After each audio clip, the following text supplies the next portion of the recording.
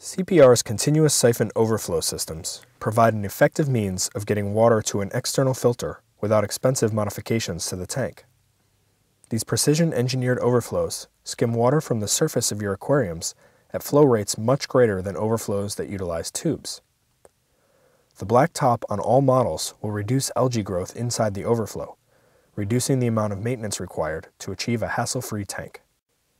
An aquarium overflow is sometimes also referred to as a surface skimmer. Its purpose is to provide an outlet from the tank so that water can be processed by a filter under the tank or in some other remote location.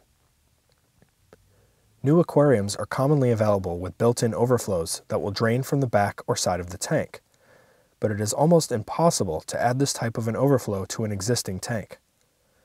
Because of this, hang-on overflows were developed.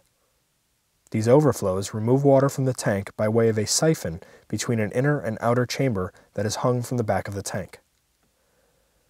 The CS overflows simplify this design by reducing the number of parts that must be assembled to a single unit. If you have the option to purchase a tank with a built-in overflow, CPR would highly recommend doing so. Installing your new overflow will require some preparation. It is best to position the overflow so that it is as far from the return as possible. This will provide for optimum circulation in your tank. You should also check the flow rate of your pump at this time to make sure that your overflow will be able to handle the water flow. First, Remove the overflow and all of its parts from the packaging. Your overflow may not have the same items that are shown here. Please refer to your instructions for a complete list of parts and inspect all items for damage. If any of the items are damaged or missing, please contact your dealer immediately. Next, assemble the bulkhead and tighten it into place by hand. Make sure that the gasket is located on the inside of the overflow. Attach the bulkhead screen, sponge, and vent tube as shown. Place the overflow on the tank and adjust the lower screws so that the unit is parallel with the back of your tank. Now you will need to plumb the overflow to your sump. Refer to the instructions for recommended hose sizes, as these are unique to each overflow. For best results, you should use flexible tubing that is at least one quarter of an inch larger in diameter than the bulkhead PVC size.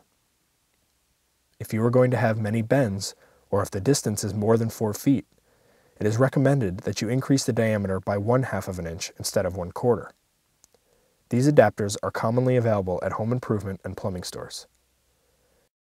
Make the drain as straight as possible and avoid any sharp bends, as they will restrict flow and increase the amount of noise produced once the overflow is running.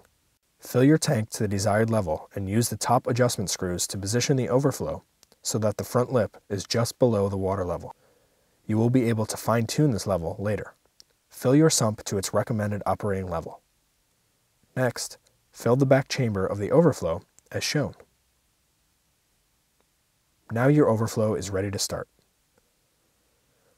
Use one of the methods detailed in the instructions to prime your overflow. CPR highly recommends using a diaphragm water pump, such as the Aqualifter by Tom.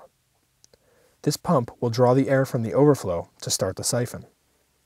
It will also remove any air that accumulates during normal operation to eliminate the possibility of an overflow occurring due to siphon breakage. Once the siphon is primed, the water level in the tank will drop to the front lip of the overflow. Plug in your return pump. As the water levels in the tank and filter adjust, you may need to add or remove water to the filter in order to maintain the correct operating level. Congratulations, your overflow is now operational.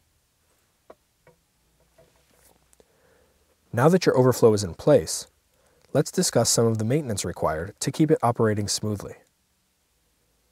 The pre-filter sponge in the back of the overflow should be cleaned on a weekly basis. As this sponge becomes clogged, the water level will rise and the overflow will begin to make more noise.